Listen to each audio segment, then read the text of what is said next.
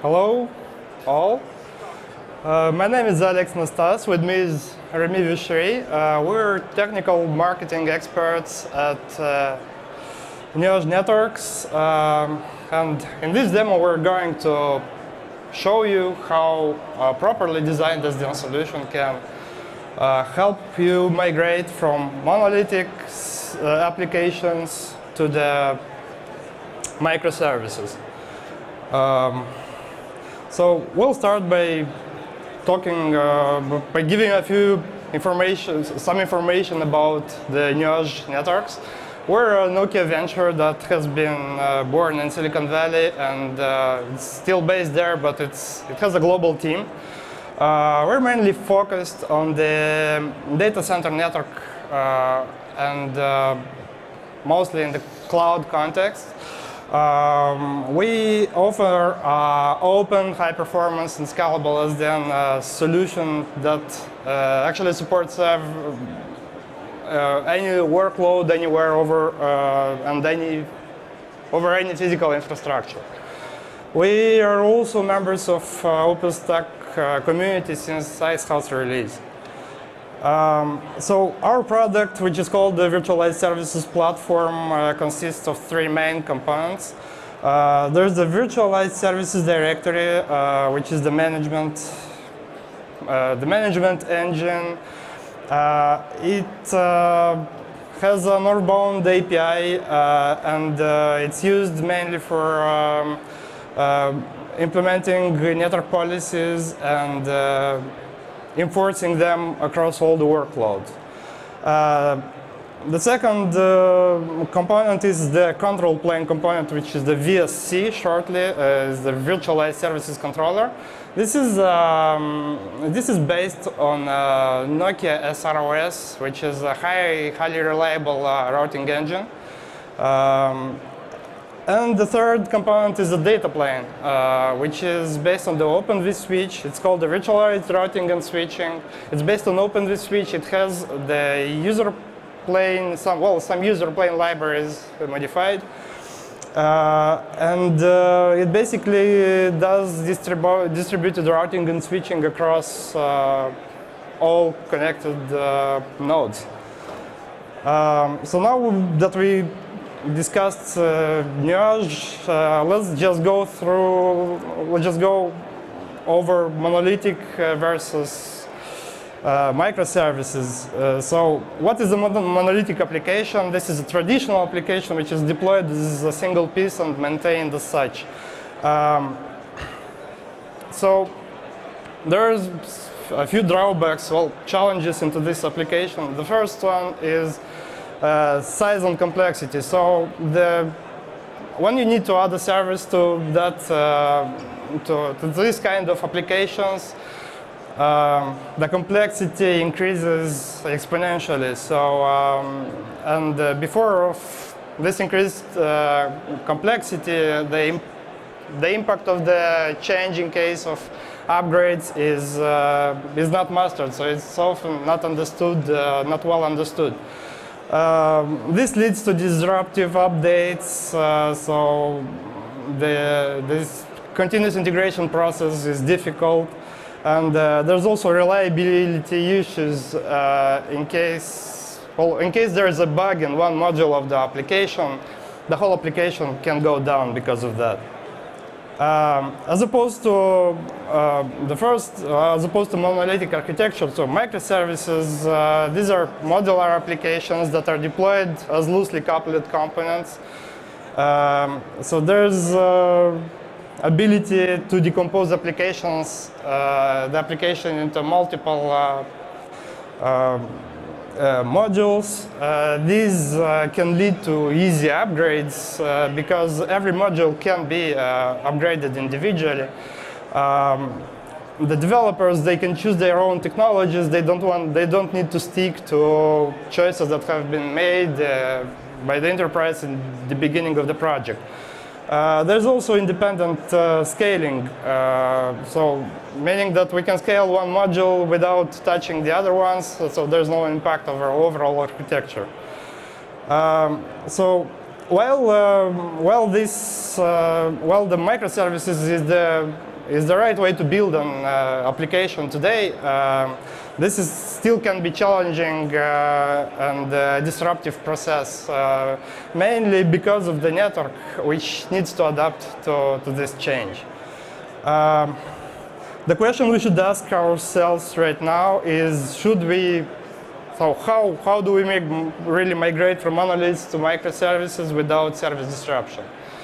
Uh, and this is where I want to hand it to Remi, who's going to go through that Yep. process. Thanks, Alex. So now I'm going to like describe a little bit uh, what are the steps to migrate your application from uh, monolithic architecture to something more like what we are doing, doing today is like microservices.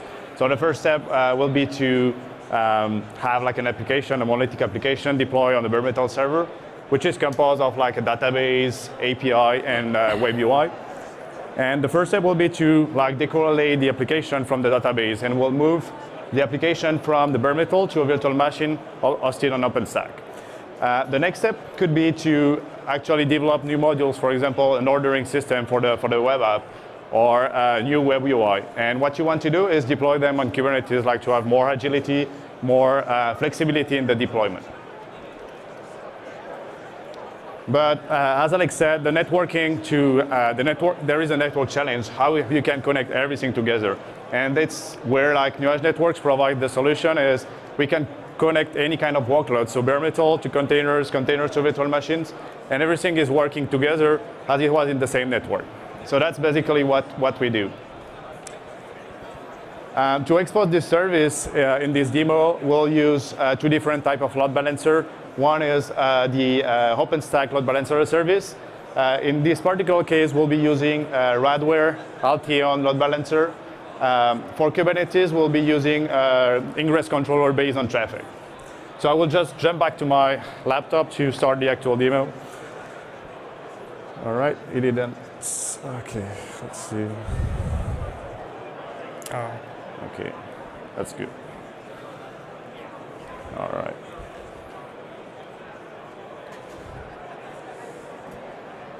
Okay. I don't know if everybody sees everything. Yeah. Okay. All right. Clear. So. Okay. Ah, It doesn't look good.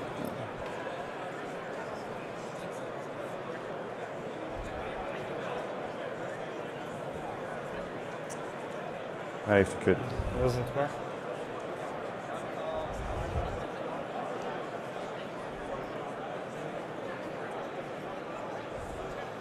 Okay. Sorry about that. Okay. Here we are. So first, um, I will be opening some stuff. So how our OpenStack controller and uh, I will be opening first the web application. So uh, we're the first step of the demo where we actually have an application that is deployed on a bare metal server. Yeah. So this application is, as I said before, deployed on the bare metal server. Uh, so everything is on the on the bare metal, the database, the API, and the web UI. So currently, if I'm going, like for example, to to the beers, it actually go to the API and retrieve all the products from the API. If I'm going to the stores, it actually retrieve all the stores from the API as well. So that, as I said, the first step will be to decorrelate this web API, this web UI and the API from the bare metal server to a virtual machine. So what we'll do is um, we'll actually we'll actually launch um, a heat template that will um, deploy the, the, the, the virtual machine.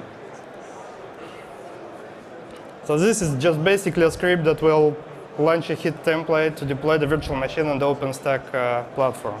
So as you can see, we have like a stack that is being created. Uh, it's actually deploying a virtual machine and associating the virtual machine IP address to the load balancing as a service pool. So the, the VM is running. Now we are going to do something is, as our application is residing, uh, the database is residing on the bare metal server, we need to connect this bare metal server to OpenStack. And uh, Nuage Networks has developed like an extension for Neutron uh, to actually use uh, and configure gateways directly from Nuage. So you'll be able to like select any gateway in your data center and actually configure a bridging between OpenStack subnets and infrastructure subnets. Which So is I'm- basically bridging overlay to underlay, right? So I'm taking, I'm doing a bridge, and then I'm selecting the database, underlay network, and I'm clicking update. At this time, like Neutron will make some calls to our management engine, and we'll start creating the configuration for the gateway. So now the gateway is like reconfigured. Um, we'll check if the application is, is running. Okay, so the server is running, and if we go there, um, and we'll open the application. So the application is working. That's exactly the same one because we didn't add any new module. We just like migrated the code that we had on the bare metal to a virtual machine. So it's exactly running the same, the same application. The only difference is the application on OpenStack is accessing the database using the Nuage gateway. So now the next, the next step, as I um, explained before, will be to create new modules. We want, for example, to add a- an ordering system for the web app um, and change the UI. So what we'll do is uh, we'll actually deploy some Kubernetes pods and reconfigure the Kubernetes load balancer to expose a new UI and a new API. All right, so let's go to Kubernetes uh, So first, I'm going to deploy uh, the new module, which is the API order uh, AP, um, uh, service. The second one will be the updated um, web UI. So now we have like deployed the web UI and the API, the new API. We can reconfigure the ingress controller, which is like the Kubernetes load balancer, to uh, actually dispatch the traffic inside the Kubernetes cluster. Yeah, so for those that don't know what a Kubernetes ingress controller is, it's just a reverse proxy that does layer 7 content switching. And based on the HTTP requests, it'll just dispatch them on different pods. So as you can see, we have, the pods are running. They are connected to the Nuage Network subnet, which is also accessible from OpenStack. Uh, and then we can check also if the ingress has been created. So we have created this ingress, uh, and it, that points to our um, public FQDN. So now let's go to OpenStack uh, because we will need to reconfigure the LBaaS to actually um, se- segregate the traffic between the new UI, the new API, and the old API. So we'll have to reconfigure the LBaaS uh, load balancer, in that case the Alteon, to um, dispatch the traffic. So we'll be creating layer 7 policies and layer 7 rules to actually redirect the traffic in two different clusters. I'm going to use like a script because the commands are pretty complex and I don't want to mistype, mistype anything. Um, all right. So the first one will be to um, create a new, a new policy in position one because that we want the, this policy to be applied first. It will actually um, uh, be handled first, and then we'll, we'll, we'll create a new policy, the, new, the policy two, which will actually go to the Kubernetes cluster. Then just policy alone cannot, cannot do anything. So we need to associate like layer 7 rules to um, uh, policies. So the first, the first policy and the first rule will be to redirect slash API slash v1 to the legacy web app, the one that is running on, on, the, on the virtual machine. The second rule will be to redirect slash API v2, the new order uh, mechanism that we have implemented, to the Kubernetes cluster. And the last one will be to redirect the UI, the UI, um, the, the, web front end, to the Kubernetes cluster as well. So as of now, uh, we have reconfigured the LBaaS, we have configured uh, Kubernetes, and if we go back to our application, and oh, uh, not this one, not this one, and I don't know. All right.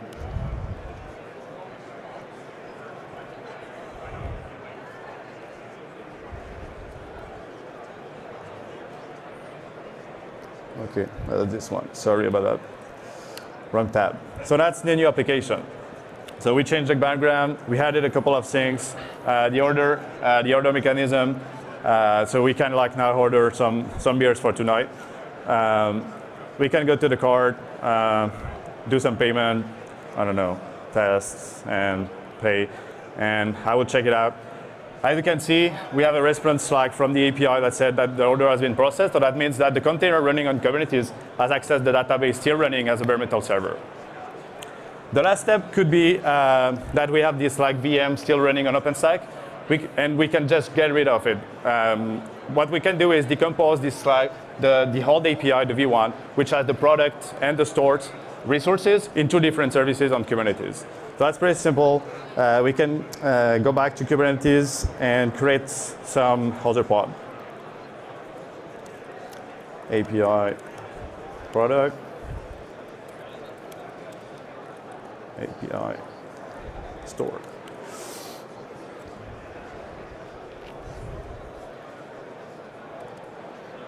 Okay, so uh, if we check the, the pods, now we have some new pods. The ingress controller is automatically reconfigure itself. We don't have to update it. It's already done in background. The only thing that we have to do is go back to the, to the, to the um, uh, OpenStack controller and reconfigure another time LBaaS to actually remove the, the first rule that was handling the, the V1 traffic to be redirected now to the Kubernetes cluster. So first what I'm going to do is uh, I'm creating a new rule because I don't want any disruption of traffic. So I'm creating a new rule that will say anything that is API v1 redirected to Kubernetes. And then I will remove the, the, the original rule to make sure that when a new request come in, it will be redirected to Kubernetes.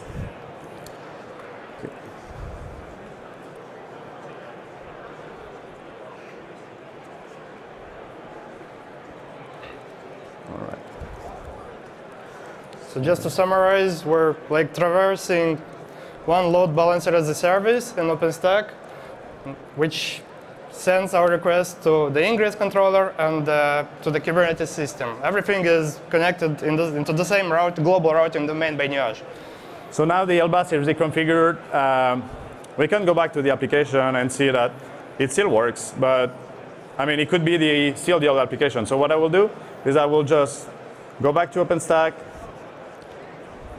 and I will just shut down the VM to show you that it's actually running everything on uh, Kubernetes.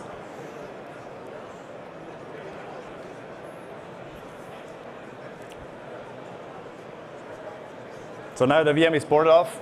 If we go back to the application, it still works. I can st still uh, see my products. I can still see my stores. I can still order some stuff. So the only thing that we can like do the final step could be like to migrate your database to some other containers, like stateful containers on Kubernetes. But we don't have any time. Like it's two minutes left, so um, I will just finish with that, and I will hand over to Alex to to finish this talk. Um, oh, we need to put that. Yeah, again. thanks for me. Uh, indeed, it's a great demo. Um, so it's uh, in the conclusion, I'd like to say that uh, well, the evolution from monolithic applications to microservices uh, it's a really complex uh, task, and uh, uh, networking is only a small part of it, but it's crucial to have a networking solution that can adapt to all the workloads and that can keep connecting all these workloads at all the steps of the migration. So um, as we saw in the demo, Nuage VSP uh, can do that. Uh, so basically, it interconnects all kinds of workloads and uh, can adapt to new use cases. Uh, if you want to know more about uh, this solution, just come to see us our, at our booth. It's the booth A10 is a Nokia, uh, just behind. Um, we we encourage you to try Nuage. You can do that by going to nuagex.io. It's completely free. Uh, it takes five minutes to register and to spin up uh, a Nuage environment on your own and uh, start, start, start test testing right away.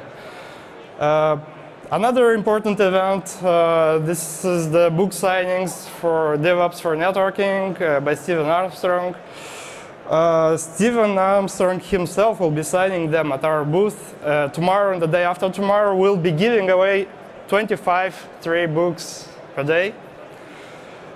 Uh, first come, first serve. Thanks a lot. Uh, if you have any questions, we don't have time. We have 16 seconds left. Uh, just find us. We'll be around. Find us just after the demo and we'll discuss anything.